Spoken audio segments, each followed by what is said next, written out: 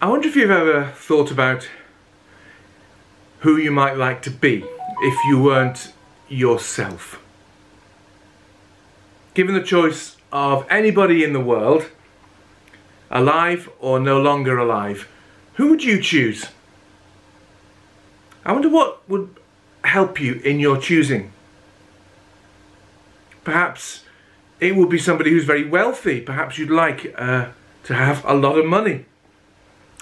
I've just been doing a bit of research uh, today. I've discovered, I'm sure you already know this, that the most wealthy man in the world is Jeff Bezos. If you don't know who he is, you will certainly know his company. It's called Amazon, an international company. One of the few companies that has done incredibly well during the pandemic. Oh, we're all using it a lot of the time, aren't we? Jeff Bezos is worth 110 billion dollars. 110 billion dollars. Just think about how much money that is and what good you could do in the world with that much money. Do you know, if you just put that money in the bank, you wouldn't be able to spend it as fast as it gathered interest. Even if you were spending it like water, it would still grow as a fortune. It's so big, do you know Steve Bezos is worth as much as the GDP of Morocco? Absolute incredible wealth. And the second most wealthy person in the world is not doing too badly himself, Bill Gates. You all know he is, who he is, founder of uh, Microsoft. He's worth just under 100 billion. The third most wealthy person in the world, well, it might be him that you'd uh, like to be a bit more. His name is Mark Zuckerberg. And uh, at the age of 35, he's worth uh, up 50, 60 billion. That's quite an achievement. He started off and runs Facebook, which is one of the biggest top, the, the big top three tech companies in the world. Would it be somebody who's very wealthy that you'd like to be, one of these people? Perhaps wealth, money in the bank doesn't really do it for you. Maybe you'd like to be somebody who's got real power so that you could really change things. It's said that the most powerful person in the world is uh, the President of the United States. I'm not really sure I'd like to be him. But some people would and there's no doubting it's a hugely powerful position. Away from politics, maybe you'd just simply rather be a great business leader that uh, uh, uh, runs companies that have lots of people doing your bidding all the time. Perhaps some great military leader, like uh, Winston Churchill, who uh, is credited with saving this country from the threat of the Nazis in the Second World War. And I say credited, but not without cause. He was a great military leader. Maybe wealth and power doesn't do it for you. Maybe you're much uh, more touchy-feely type and uh, you would like to be somebody who is simply good. Somebody like Martin Luther King who made things better for so many people in the United States of America. Or maybe Mother Teresa, who gave her life to care for other people.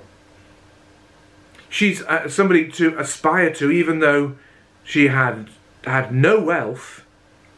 She had quite a lot of power because people took her seriously but she was a good person. Or perhaps the best person in many ways. Uh, forgive me for suggesting this, but to my mind, it has to be Queen Elizabeth II. What a wonderful queen she has been. Selfless, uh, strong, uh, and just a really great leader for this nation. Perhaps you'd like to be her. So, what is it that shapes your thinking when you're asked a question like that? Is it something about me? I'd like that because I'd have lots of money, I can have what I want. Is it perhaps something that means I, I can help other people? I don't know. Do you know, we're told today work hard and you can have it all. Work hard at school, get good grades in your GCSEs and your A levels, go and get a good degree, and you can have it all. The world is there for your taking. Is that true? I'm not so sure. In our Bible passage this morning, we come to look at another man who encountered Jesus. And uh, this man was a man who had everything, seemingly. He certainly had power and control. Verse 18 of chapter 18. And a ruler asked him, Good teacher, what must I do to inherit eternal life? He had power, he was a ruler. That means people did what he wanted them to do. He had control, just like some of the people we might aspire to be. But not only did he have power, he also had wealth. Look at verse 23. When he heard these things, he became very sad, for he was extremely rich. Power, wealth, well, there's two things together. He had good health because he was able to come to Jesus himself. And he clearly had good character. Verse 21 tells us, All these I have kept from my youth. He had good character. He had tried to work hard to do the right things. He had tried to follow God's law. He had power, wealth, health, character. Boy, this guy had everything going for him, didn't he? Would you like to be like him? Would I? Except he knew that there was something missing. He had everything going for him, but he knew there was just something extra. And so he came to Jesus and he said, Jesus, what must I do to inherit eternal life? There's a sense in his words there, isn't there, that he's tried everything. And uh, he thought, well, I've, I've looked everywhere I can think of, I've done all I can think of, I'll go and ask Jesus if he can help me. Jesus, what must I do? I can't seem to fill this chasm, this gap that's there. He had a restless heart before God. He knew there was something more, and he had not understood how to get it. He thought he could buy anything. He had power and authority and all that stuff. Good teacher, what must I do to inherit eternal life? Jesus answers rather surprisingly. He says, Keep God's law. Look at verse 20. You know the commandments, says Jesus. Do not commit adultery, do not bear, uh, do not murder, do not steal, do not bear false witness, honor your father and mother. Do God's law, keep God's law, says Jesus. But interestingly, Jesus doesn't quote all ten of the commandments.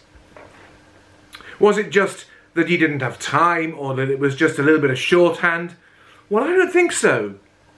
Because the five commandments that Jesus quotes here are all commandments to do with relationships with other people. Did you spot that? Do not commit adultery. Do not murder. Do not steal. Do not bear false witness. Honour your father and mother. They're all to do with relationships with other people. The laws relating to others. Maybe Jesus saw into this man's heart that he was not quite so squeaky clean after all. Jesus answered him, and he said, verse 22, when Jesus heard this, he said to him, One thing you still lack. Sell all that you have and distribute to the poor. And you'll have treasure in heaven. And come, follow me. That was just a little bit too much for this man. When he heard these things, he became very sad, for he was extremely rich. Now, we're left here with a, a very important question, and it's this Is it possible for a rich person to get to heaven? For a rich person to be right with God? Look at what Jesus says in verse 24. Jesus, seeing that he becomes sad, said, How difficult it is for those who have wealth to enter the kingdom of God. Well, Jesus doesn't say it's impossible. He just says it's difficult. But it's very difficult. Because Jesus goes on to say, it's easier for a camel to go through the eye of a needle than for a rich person to enter the kingdom of God. That would be quite a feat, wouldn't it, for a camel to pass through the eye of a needle. So, why is it difficult for a rich person to be right with God? Why is it especially difficult for this man who is a ruler, who has health and good character and plenty of money, why is it so difficult for him to be right with God? The reason is quite simple, and it's this the things of this world hold us back from the things of God. And if we put all our investment in health and wealth and achievement in this world, well, we're jeopardizing our future, eternity. See, when we have wealth, we spend more time worrying about losing it than anything else. Jesus says, rich man wealthy man, get your priorities right. Put God first. Jesus says this rich man has to do two things. He has to sell all he's got and give it to the poor, and he has to follow Jesus. Two things. Sell what you've got so that it doesn't continue to hold you back, to cling on to you and you cling on to it. Get rid of it. And then follow Jesus. Now, it's a big challenge, this uh, encounter with Jesus. And it's a big challenge because we in the UK, in the West, in the 21st century, we are all wealthy. Particularly those of us who happen to live in uh, leafy suburbs like Barton Seagrave. We're all wealthy compared to the average wealth in the world. Remember, Jesus said, It's hard for rich people to get into the kingdom of God. Do you ever wonder why, as the wealth in this country increases, the godliness of people decreases? Here's the answer.